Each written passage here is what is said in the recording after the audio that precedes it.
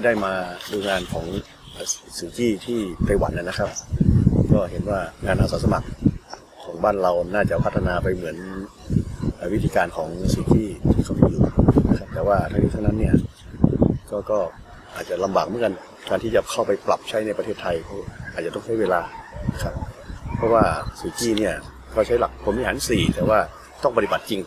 ครับพาไปปฏิบัติไม่ได้เอาเฉพาะเรื่องคุณธรรมอย่างเดียวนะครับ ไม่ใช่ผมวิหารสี่เมตตากรุณามุทิตาอุเบกขาอย่างเดียวในในใจ แล้วก็ในจริงๆแล้วต้องนำมาสู่การปฏิบัติอย่างจริงจังที่พงานอาสาสมัครในในบ้านเราเองก็ก็น่าจะ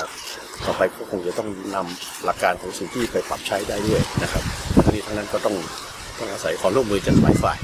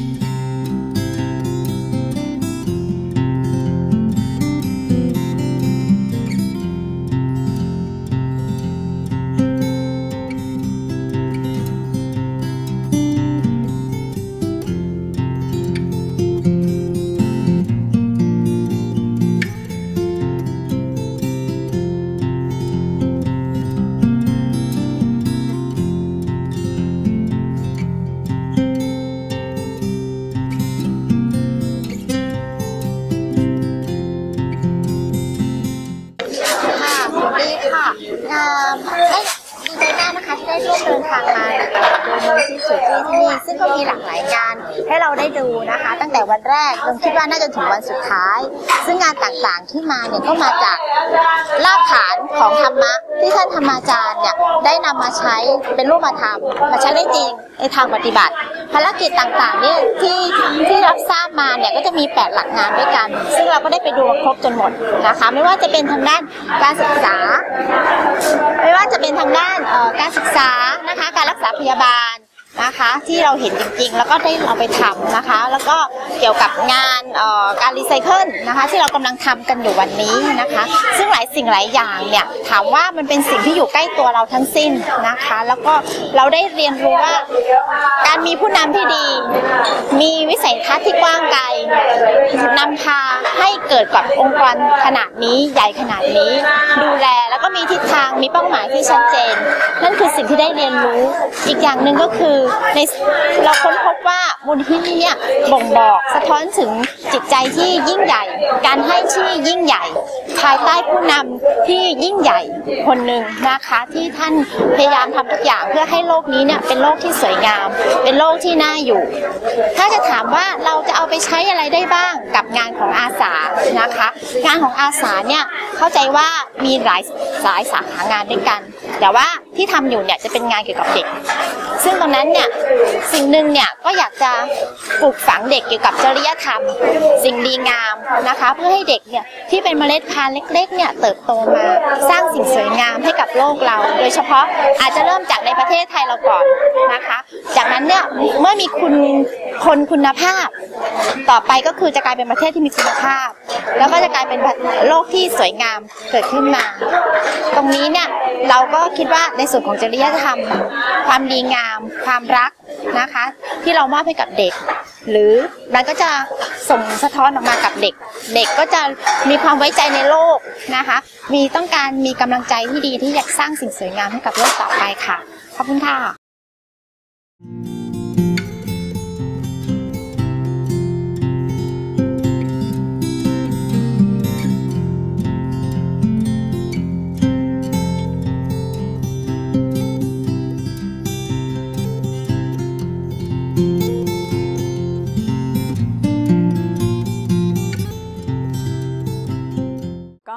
ต้องขอขอบคุณกับทางมูลนิธิด้วยนะคะ ที่ให้โอกาส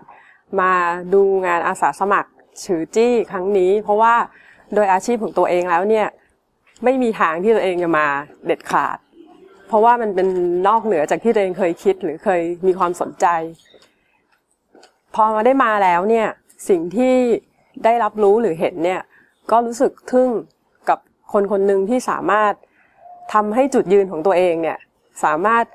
ทำให้คนอีกหลายล้านคนเนี่ยมาเห็นด้วยแล้วก็ช่วยทำจนเกิดอะไรที่มันมีประโยชน์กับสังคมกับโลก แต่ในความทึ่งเนี่ยก็มีความกังวลนิดนึงแหละว่าไอ้สิ่งที่เราเห็นเนี่ยค่ะ บางทีมันมีแต่ความมันมีทุกอย่างที่มันดีหมดอะมันดูเพอร์เฟกเกินไปโดยส่วนตัว คนอื่นไม่รู้คิดยังไง รู้สึกว่าจริง ๆ มันควรจะแบบเขาเขาจะบอกข้อข้อบกพร่องหรือ เขาจะบอกความขรุขระของเขามากกว่านี้ หรืออะไรสักนิดนึงก็อาจจะแบบ เราจะรู้สึกว่าเออความเป็นมนุษย์อะมันมันมีอย่างนี้บ้าง แล้วก็อีกเรื่องหนึ่งก็คือ ถ้าจะไปนำหลังจากที่ดูไปแล้วเนี่ยสิ่งที่เองชอบโดยส่วนตัวเนี่ยคือเรื่องแนวคิดของ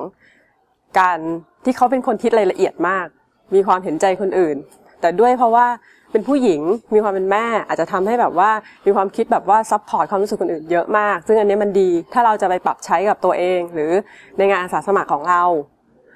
กับอีกเรื่องหนึ่งที่ตัวเองคิดว่ามันมีความน่าสนใจมากกว่าคือ คนที่อยู่ในหน่วยงานของมูลของทางบ้าน เด็กอ่อนพญาไทบ้านเด็กอ่อนปากเกร็ดหรือบ้านเฟื่องฟ้าเนี่ยมีเจ้าหน้าที่หลายระดับ ซึ่งจริง ๆ คนที่คลุกคลีกับเด็ก ๆ เนี่ย จะเป็นพวกแม่ๆที่เป็นพี่เลี้ยง ซึ่งเขาควรจะมีโอกาสได้มาเรียนรู้เรื่องพวกนี้เหมือนกับเราที่เราได้เคยเรียนรู้ไปแล้ว เราก็มีความคิดเห็นแบบนี้ ถ้าเขามาเห็นแบบนี้อาจจะมีกำลังใจมีแบบแนวทางในการทำงานของเขามากขึ้นนะคะ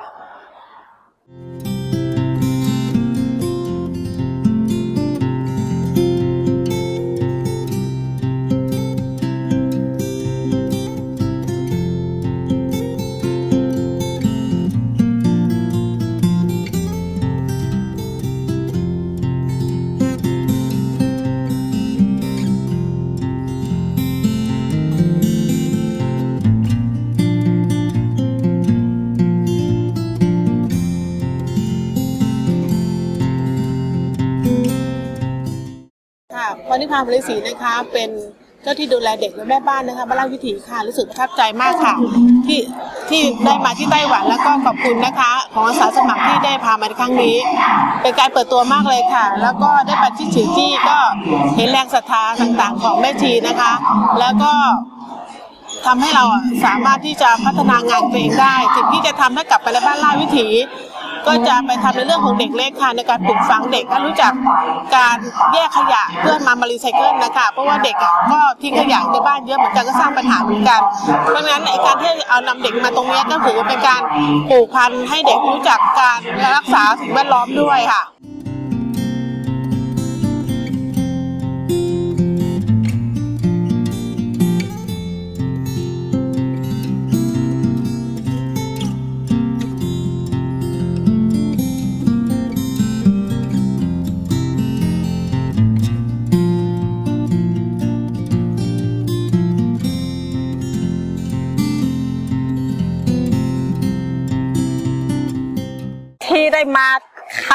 นะคะ เป็นบุญของตัวเองด้วย แล้วก็ได้ไปดูงานที่ที่ธรรมะธรรมจารย์ของของของกือกือกี้ คือได้ความรู้ความคิดเห็นเยอะจากจากจากคุณแม่นะคะ เหมือนแม่แม่เนี้ยแม่กือจี้ที่นี่นะคะ เหมือนแม่ที่เลี้ยงเลี้ยงลูก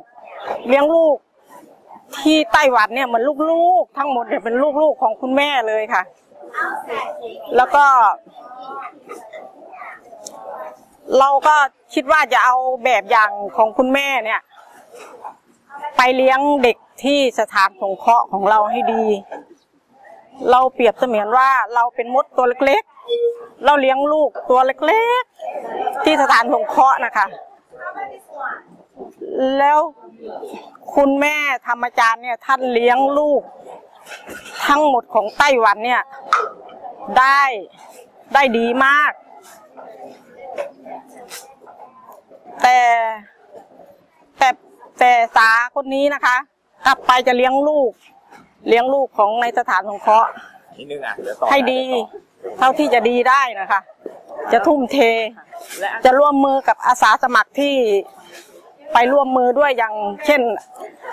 อาจารย์ตาลเนี่ย เป็นหัวหน้าทีมเนี่ยแต่ก่อนนี่เราเห็นหัวหน้าตาลไปเห็นอาสาสมัครไปนี่เราก็หน้าบึ้งหน้างอนะเราเหนื่อยงานด้วย ก็ขอโทษด้วย เพราะว่าหน้าเราเป็นแบบนี้ด้วยแล้วก็เครียดเรื่องงานด้วยงานมันหนักพอสมควร งานก็หนักพอสมควรที่นั่นเนาะ อยากให้อาสาสมัครเข้าใจพี่เลี้ยงด้วยว่า หน้ามันบึ้งหน้ามันงอก็คือมันเหนื่อยงาน แต่ต่อไปนี้นะ จะไม่ได้มึงหน้างอแล้วจะทุ่มเทให้กับเด็กๆที่สถานสงเคราะห์ของเรา ให้ดีเท่าที่จะทำได้ แล้วก็เป็นบุญของเราที่ได้มาที่นี่ด้วย ก็คิดว่าเป็นบุญของเด็กด้วยนะคะ ว่ากระแสแรง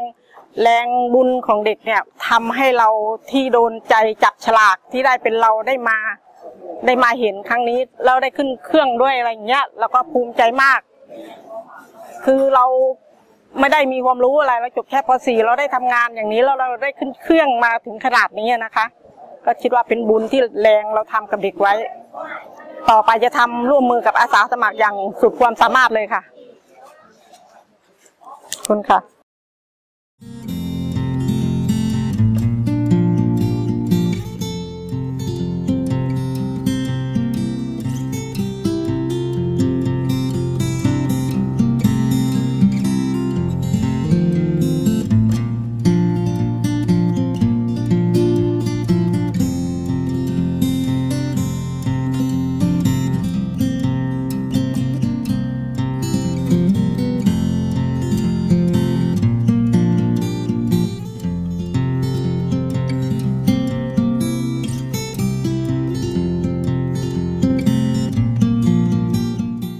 ก็ทริปนี้นะคะเป็นทริปที่เหล่าอาสานะคะที่มีจิตอาสาทั้งสามส่วนนะไม่ว่าจะเป็นแกนกลางก็คือมูลนิธิสุขภาพไทยนะแล้วก็ทีมงานของกรมพัฒนาสังคมและสายการจากสี่บ้านนะรวมถึงในส่วนของอาสาสมัครนะได้มีส่วนมาเปิดใจนะมาเปิดรับในเนื้อของ ความเป็นฉือจี้ก็คือบุคคลที่ทำงานโดยมีความเป็นแม่นะใช้ความเป็นแม่ในการทำงาน ภาพที่เห็นนะก็คือสิ่งแรกเลยก็คือการเปิดใจของทั้งสามส่วนนะเปิดใจที่จะรับเรื่องใหม่ ๆ เข้ามา เมื่อคนเราเปิดใจเนี่ยนะก็จะทำให้เห็นภาพของการรับในเรื่องดีๆนะหลักการที่ดีของท่านมาจารย์นะ ว่าท่านคิดอะไรทำอะไร มีรูปแบบแบบไหนในการทำงาน โดยพรหมวิหารสี่เป็นหลักใหญ่นะในส่วนตรงนี้สิ่งที่เห็นในหลายวันที่ผ่านมาเนี่ยเห็นภาพของความประทับใจจากทีมงานทุกทั้งสามส่วน เห็นความคิดนะคะว่าทุกคนคิดว่าจะเอาหลักชือจี้นะไปดำเนิน การยังไง ไม่ว่าจะเป็นการพัฒนาตัวเองนะพัฒนางานของตนเอง แล้วก็การที่จะเอาสิ่งเหล่านี้นะชือจี้เนี่ยไปหลอมรวมทั้งสามส่วนให้เกิดภาพของสิ่งที่ดีนะเป็นหลักการที่จะนำไปสู่การปฏิบัติให้เกิดผลดีต่อไปนะในภาพของกรมพัฒนาสังคมและราชการนะในฐานในฐานของการที่เราเนี่ยเป็นแกนหลักนะที่จะ ดูแลกลุ่มเป้าหมายที่ว่าเป็นกลุ่มเป้าหมายเดียวกันของทั้ง 3 ส่วนไม่ว่าจะเป็นบ้านทั้ง 4 บ้านนะในส่วนของมูลนิธิสุขภาพไทยที่เข้ามาร่วมด้วยช่วยกัน รวมถึงจิตอาสาทุกคนเนี่ย เราอยากเห็นอะไรนะเราก็ในฐานะของกรมเนี่ยนะเราก็ภาวนาตัวนะคะว่าเราจะเป็นพื้นที่นะสร้างสรรค์ เป็นพื้นที่ทดลองของทั้งสามส่วนว่าเรามาทดลองกันซิว่าหลักฉือจี้เนี่ย จะเกิดขึ้นนำสู่การปฏิบัติได้อย่างไรในภาพของบ้าน ตรงนี้ค่ะสำคัญว่าถ้าทั้งสามส่วนเปิดใจรับนะว่าเมตตานะสงเคราะห์มันมาทำยังไงอะล่ะนะที่จะทำให้ภาพบ้านเนี่ยมีความสุข ลูกๆนำหลักธรรมตรงนี้นะคะนอกจากพวกเราสามส่วนเปิดใจนำหลักธรรมนั้นมาใช้แล้วเนี่ยพรหมวิหารสี่จะเกิดขึ้นกับกลุ่มเป้าหมาย ไม่ว่าจะเป็นลูก ตัวเล็กตัวน้อยนะรวมทั้งลูกพิการนะลูกคนโตที่บ้านลาวิถี แล้วจะกระจายขยายต่อไปสู่บ้าน 29 บ้านของกรมพัฒนาสังคมและสื่อการ แต่ภาพสิ่งสำคัญที่อยากเห็นก็คือ ถ้าเรารวมกันเป็นฉือจี้นะโดยใช้หลักฉือจี้เนี่ยแล้วกระจายเมตตาเหล่านี้นะคะแผ่ขยายกว้างไปเนี่ย ภาพที่จะเห็นก็คือ จุดเล็กๆฉือจี้เล็ก ๆ ที่เกิดขึ้นในประเทศไทยอย่างเป็นรูปธรรม แล้วจะทำให้ฉือจี้ที่เราบอกว่า เอ๊ะมันจะเกิดขึ้นในประเทศไทยได้เหรอกรมพัฒนาสังคมและสวัสดิการคาดหวังค่ะว่าพวกเราสามส่วนจะนำมาซึ่งสิ่งที่เป็นจริง เป็นรูปธรรมเกิดขึ้นจริงในประเทศไทย ด้วยพวกเราสามส่วนเล็กๆนะเหมือนที่ทางคุณแม่ภิกษุณีท่านได้เริ่มต้นแล้วนะแล้วเราก็เห็นภาพความสำเร็จแบบง่าย ๆ เริ่มต้นเล็ก ๆ แต่ประสบความสำเร็จณวันนี้ค่ะ